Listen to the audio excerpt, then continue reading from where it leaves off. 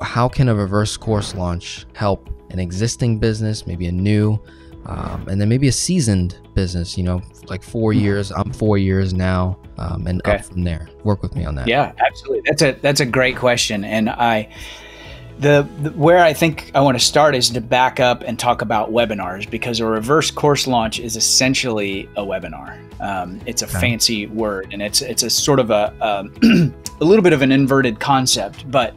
So one of the things that I did last at the end of 2021 was I launched my third digital course via a webinar. I'd never done that before. Webinars were were always kind of like, oh, that seems so next level. It seems so confusing.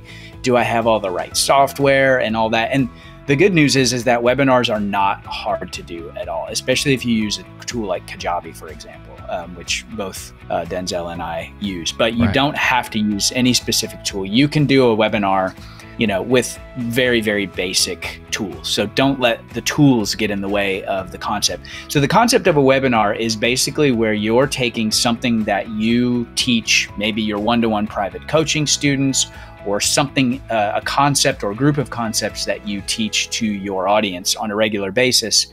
And you have some sort of, um, you know, special event that you put in place that they have to register for. Um, usually, with a webinar, there's an offer at the end of it. There are a couple of different ways to do webinars as well. Uh, I'm a fan of hard didactic teaching webinars rather than, hey, I'm gonna I'm going to tell you what you need to know and I'm going to kind of dance around the topic, but then you have to buy my course uh, to get the how to. You know, so what I like to do and what I recommend you do with your webinars is actually do hard didactic teaching. And then that allows you to offer the value to your audience and and basically uh, you know gives them the opportunity to see what it is that you're teaching. And then if they want to buy your offer maybe it's one of your digital courses or maybe it's a coaching package or uh, a bundle of digital courses. There are a lot of different ways that you can do an offer at the end of your webinar. Um, but a webinar is basically something that I dis- I recently sort of discovered and decided to implement. So there's that piece the next level of a webinar is what's called a reverse course launch. And a reverse course launch is really nothing more than you taking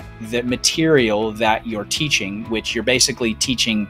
And in my case, I did a mini course. I taught a mini course live. Okay. And so what you're doing is you're getting all of the elements of that set up uh, as you would a, a regular webinar, but you're giving them the opportunity to purchase the recordings before, during, and after the webinar itself. So there's a little there machinations in there, but that's the overall concept, just to not get you know, so people don't get um, overwhelmed by that. So it's basically a reverse course launch is a webinar where you're teaching the course, mini course, or full course live. Uh, for example, I just did my Start an Online Business uh, mini course, which was launched. You know, I launched that as a reverse mini course about three weeks ago. It was three and a half hours of hard didactic teaching, and then I offered the recordings to my audience. You know, each lesson plus a Q and A after each lesson, all cut up into a mini course that they can access and you know in uh, in, in re, you know wherever they have internet internet access and consume it as a mini course. So that's the the overarching concept of a, of a reverse course launch. Gotcha. So it's let's use me for example. I have an existing financial coaching practice, one to one. Then I have my online course, which is my my main driver. Um, has pretty much all my content in there. It's a huge course. And then within that course, I'll do say webinars. You know, I do I do these private events, these private Q and A's, private workshops, hot seat coaching. Um, Yep. so what you're getting at is someone like myself, if you're- at my level or you have something already at play, then a Mhm. reverse course launch would be an added on thing that could, you know, help boost sales, boost revenues. Um, and in, in in my mind can increase results a little bit faster for the Mhm. client because you're you're live right then and there and then you're selling there so the reverse course launch you're selling what you just did That's right. Yeah. Okay. And so what I would say is in your case, like if you have a flagship course, you know, Yeah. that you want to you want to sell, and especially if it's above the five hundred dollar level, the the prevailing wisdom in the industry is that if it's above five hundred dollars, you probably want to launch it with a webinar.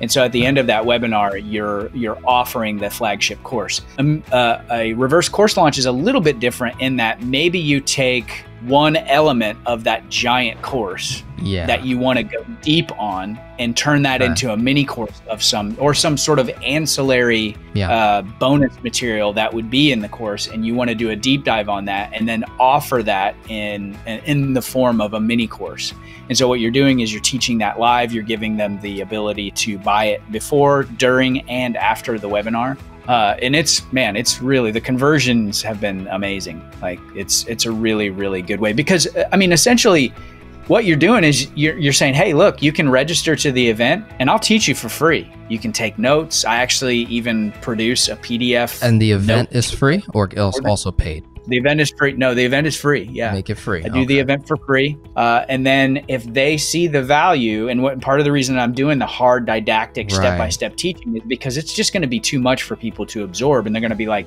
yeah, I think if, if this is something that I'm interested in, I want access to this asynchronously so that I can go back to it again and again and again and again. Gotcha. So, Yeah, I, I think um, this is something that I might have put myself in a bit of a uh, uh, an uh, an issue that I've seen with some of the participation from all of the people that enroll in my course because it's such a huge course. In a way, little did I know I was I was selling it like everything is in here type of thing. right. But then the problem with that over the years that I saw was because everything's in here, people sometimes don't know where to go or, Right. or, like where to start. And the course, I kind of designed it in a very chronological order type of a way. So Right. anyone can, you know, just start at the beginning, but you can also start wherever you want. You kind of go in and get what you need when it applies to you.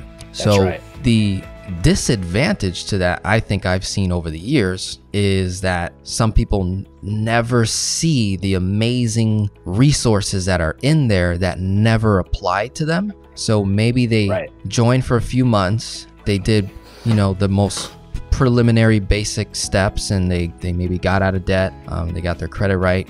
And maybe because I pitched it a certain way that they didn't continue on because they didn't really know Right. that it could benefit them. Um, and so the way that I could, pro- and I'm pretty sure there's other course creators out there that might be suffering from this because I Mhm. recently, Oh, I, yeah. recently, I recently learned that there is a huge uh, a lack of participation, partic- participation. My goodness, lack of participation on the customers actually completing courses like online digital yeah. courses. Oh, I yeah. think the, it's the- about it's about 80-20 I find in my in my in my ecosystem, and I think that that's pretty uh, pretty normal. Um, 20% of the people that buy courses usually wind up going through them and, and many times not all the way through them so it's it's a Mhm. very interesting phenomenon and it's one of the you know if you want to know how the sausage is made in online business that's one of the things that's been very interesting i know both for you and for me Yeah, definitely. So I like so continuing on, I was listening to a financial coach and she was saying how in her program she's got over 70% like completion rate. And I'm like,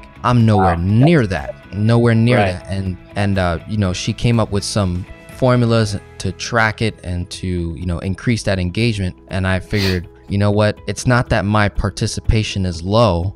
I think it's just I have such a big course that Yeah. it may be time to split things up, so to speak. for sure Um, Yeah, and, and one of the things that you could do is continue to offer it as a huge flagship course, but Right. then break off, Break uh, off. mini course. Yeah, and um, and then you know offer that you know you know maybe offer the flagship course as a, an add-on or an upsell or a bonus. You know, it's really I'm learning a lot about uh, offers. You know how all of this stuff is in the offer and the way that we explain our offers. I just finished reading Alex Hormozi's Hundred Million Dollar Offers which is a great book. Uh, and you know, for anybody that's in digital marketing, online business, and it really he walks through how to make the the subtext of the book or the subtitle of the book is how to make offers so good people feel stupid for not buying them. You know, and uh, and it's true. I mean, you can really do that. And so, the I think the overarching theme with what Denzel what Denzel and I are talking about right now is that online business is a there's there's a long learning curve. Like you you'll learn all yeah. the basic fundamentals. Okay, set up a blog, set up a YouTube channel, set up an email list, set up all that stuff. All right, you learn how to do stuff. You learn how to create content. But then there are all these next level, um, you know, insights that you get that you're never going to get until you do it. You know, until yeah. you actually get into it and you're interacting with other content creators. And you're saying, "Hey, yeah, this whole reverse course launch thing. I mean, I heard it from my mentor. You know, he had tried, he had tried, you know, he'd done webinars for years, especially to launch his more flagship courses. Uh, and then he did this reverse course launch. The first time, um, the first time that he did one, I was like so blown away at the value in it that I was like, yeah, it was a ninety-seven dollar, you know, purchase, and I whipped out my credit card and bought it on the spot. You know, you were in. Gotcha. So it's it's a really really great way to utilize the webinar workshop masterclass format live teaching uh, to leverage that into you know hey here if you're new to my audience or you've been in my audience for a while this is exactly what's in the course. If you think it's worthy of whatever you're charging for it great you're letting them be the judge of that. And it's i think it, it really elevates your credibility as a creator as well. I like that